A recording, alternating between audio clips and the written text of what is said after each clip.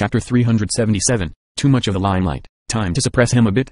The secular freak genius quickly became the Sky Quadrant's hottest topic. Almost everyone managed to talk about it sometime each day. There were even candidates starting to complain that the secular genius actions were disrupting the balance of the quadrant. Breezing through everything with just a single move? I admit his potential in pills is astounding. But we're martial Dao geniuses. We still need to make use of our fighting strength to emerge from the masses in the future. He's deviating to a side path, like walking on the edge of a blade. When he furiously grinds points like this, he's completely destroying the ecosystem of the Sky Quadrant. Yeah, this isn't fair. Letting him grind points like this, won't all the other geniuses be forced to just gaze at his back in a few months? Who can take care of him then? Indeed, there's no difference between this and cheating. He should go test his skills in other areas if he has what it takes.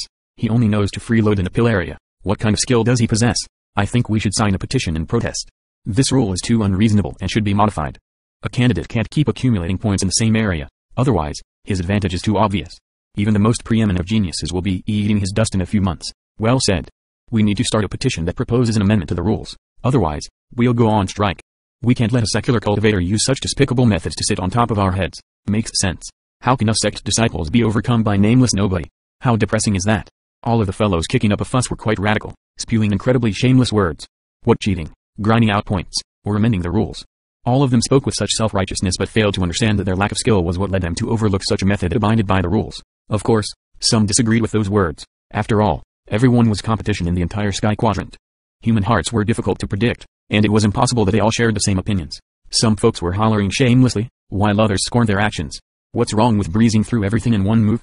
Anyone who has what it takes can do the same as well. Since the rules are set thus, he's not doing anything wrong. Which one of us isn't picking our most confident area when we request missions? Or is it that people should use their weaknesses to challenge someone else's strengths? The organizers are doing things in this fashion in order to unearth geniuses. This secular genius is absolutely a genius in pills. If he doesn't make use of this overwhelming advantage, then he's truly an idiot. Calling a bunch of grapes sour just because they can't have any, how narrow-minded. He's accumulating points reasonably and properly. And they accuse him of cheating? These fellows are completely shameless. What ecosystem? Must the top geniuses be ranked first in order for them to call this shameless? Is it that a genius from the mundane world can't rank at the top? These were the two camps of thought. Of course, there were also those who were neutral. They neither supported nor protested the developments, merely watching the proceedings with indifferent eyes. But overall, those in favor of suppressing the secular genius rise still held the upper hand. This included those top geniuses. Although none of them voiced anything in public, they exerted a lot of pressure privately and strongly hinted their feelings to the organizers. It was obvious that Jiang Chen's rise was giving them a lot of pressure, forcing them to take risks and further stressing them. If they didn't take some chances to challenge level 4 or even level 5 missions, then they were destined to be flung far behind Jiang Chen as time passed. Which of these geniuses didn't have their sights set on the top? Would they be willing to see a secular cultivator use these sorts of methods to rise to the top and leave them far, far behind? Of course not. Dot. Elsewhere, the examiners that held authority in the Sky Quadrant gathered together. What had happened lately simultaneously gave them excitement and headaches. They were stunned by the rise of this pill genius and racked their heads as to how they would recruit this genius for their sect. In many ways, this pill genius would lose to a top-tier martial Dao genius. Martial Dao geniuses could be replaced, but a superior pill genius often couldn't be. There were many martial Dao masters in the world of martial Dao, but pill masters were few and far in between. A pill master was quite important in the world of martial Dao, and held even greater strategic meaning to a sect. Everyone, let's discuss without inhibitions. If this continues, the hearts of the Sky Quadrant will waver, and all will be thrown into chaos. An examiner sitting in the middle laughed wryly. What's there to talk about? This can't be allowed to continue. I recommend changing the rules or restricting him personally. He can't be allowed to proceed like this. The heck. This is clearly deviating from the correct path, and certainly not the actions of a noble gentleman. However, those who were aware of the speaker's identity were greatly dismissive of these words. This fellow was Master Shua Ayu's junior brother. The two were on exceedingly friendly terms. Such a proclamation was obviously not speaking out for justice, but on behalf of his own personal grudges. Indeed, someone sprang immediately to respond. Are you kidding? He's following the rules in requesting missions and is also taking on a great deal of risk. What do you mean by the wrong road and not the actions of a gentleman? Is he not to focus on the area of his strength and to him to excel in areas of his weaknesses? Does this measure up to the original intentions of our selection? The Purple Sun Sect examiner was immediately offended. Hey, what do you mean by this? Are you purposefully singing an opposite tune from me? An opposite tune? Hey hey, I rather think it's you who's doing so. I recommend not bringing personal feelings into this, otherwise it'll become very easy for you to be biased. What happened in the Earth Quadrant is an example to us all. The examiner sighed. He was obviously talking about Master Shua Ayu being removed from her position. The Purple Sun Sect examiner slammed the table when he heard this. What did you say? Who's bringing in personal feelings? You. Give me a clear explanation now. You raise your voice because you're in the wrong. Who are you scaring by slamming the table? The examiner sniffed disdainfully and laughed coldly. Alright, alright, everyone calm down. Remember, This is an examiner's area. Can you all maintain some composure?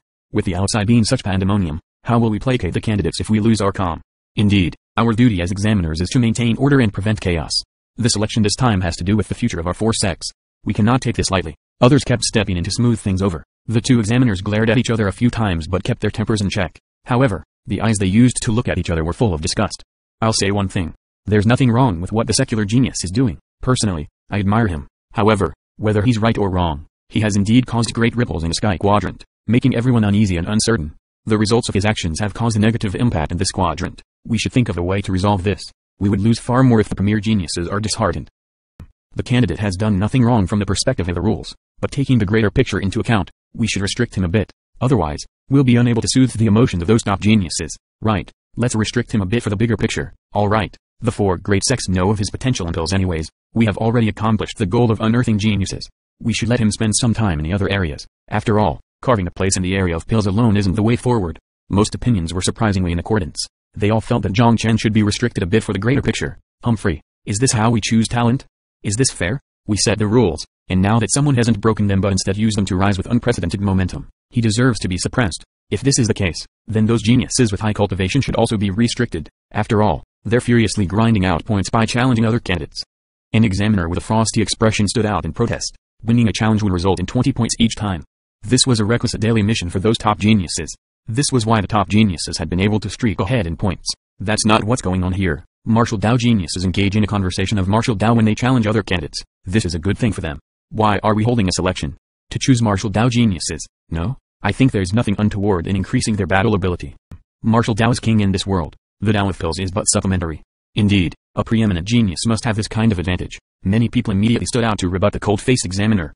The latter was one of upright personality, but it was difficult for him to make a stand against everyone alone. He could do nothing when faced with his brethren's attitude. He could only laugh coldly. Your suppression can appease those premier geniuses, but have you considered the feelings of a secular genius? This may be a bit unfair for him, but in consideration of the broader view, we can only ask him to give way. If he's smart enough, he'll understand that this was a function of the circumstances. Truly. I trust that he'll be able to understand. Indeed, if not, it simply means his mind isn't bright and he doesn't understand how to analyze the situation. If he insists on doing things his way and makes himself a public target, then that's also very disadvantageous to his growth. The examiners all spoke righteously and pretentiously, making the cold-faced examiner snort in cold laughter. All of you posture so self-righteously, and can speak so dutifully about your domineering actions and suppressing others. HMPH. At this point, one's original sin is none other than being born of a humble background. If this secular genius had a mighty background, do you all think that you would suppress him in such a righteous manner? The other examiners could only smile wryly when faced with this sharp questioning. They all understood this logic, but in order to appease the rage of those top geniuses, they could only sacrifice those deemed lesser. A secular genius feelings could be smoothed over easily, but if a group of preeminent geniuses all grew dissatisfied, then the sky quadrant would be thrown into chaos.